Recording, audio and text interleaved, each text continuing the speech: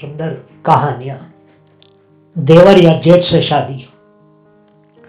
अक्सर हम सुनते हैं कि हमारे समाज में देवर भाभी का रिश्ता माँ बेटे के रिश्ते जैसा ही पवित्र होता है।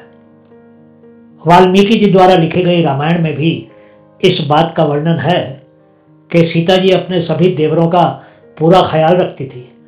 उनके देवर भी उनको सीता माता ही कहते थे।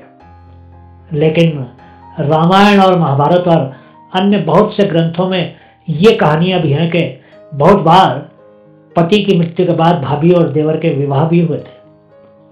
इसको समझने के लिए आपके सामने हम कुछ उदाहरण प्रस्तुत कर रहे हैं।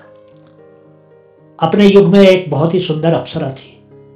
उसका नाम तारा था। उस युग के महान परिक्रमी बाली से उनकी शादी हुई थी। तारा को राजनीति और अन्य क्षेत्रों की अच्छी जानकारी थी।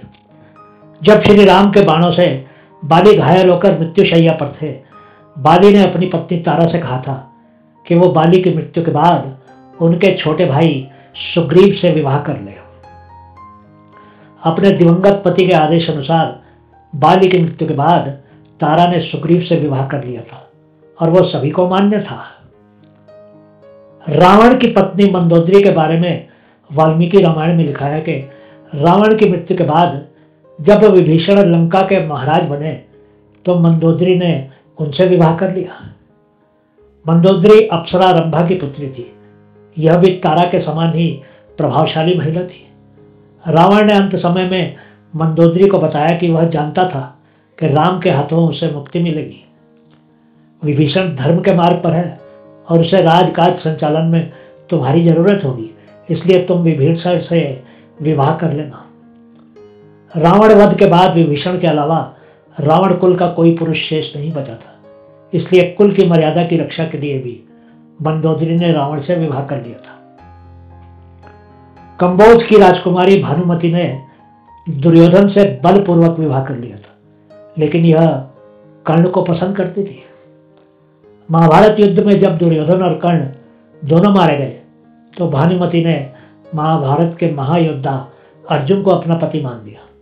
इस तरह महाभारत युद्ध के बाद रिश्ते की एक नई कहानी लिखी गई है।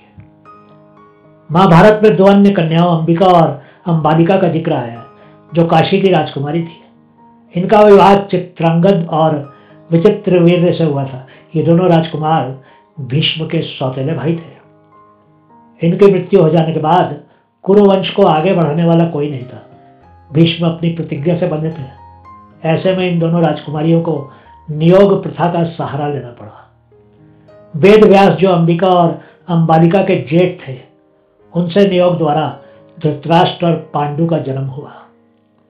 ये तो रही पौराणिक कथाओं की बात, पर क्या आज के समाज में इस रिश्ते को मान्यता है? अगर भाभी को माँ के बराबर सम्मान दिया जाता है तो फिर एक देवर भाभी से विवाह कैसे कर सकता है? ये कहना भी अनुचित नहीं होगा कि प्राचीन कहानियों में पात्रों ने अपनी अपनी सुविधा और अपने अपने स्वार्थ अनुसार भाभी देवर के रिश्ते को जब चाह बदल दिया था। इस पर बहुत लंबा विवाद हो सकता है, पर अगर आप लोग भी अपने विचार नीचे कमेंट्स में लिख देंगे तो बहुत से लोग आपके विचारों से लाभान्वित होंगे। हम भी आपके आभारी रहेंगे। बहुत बहुत शुक्रिया।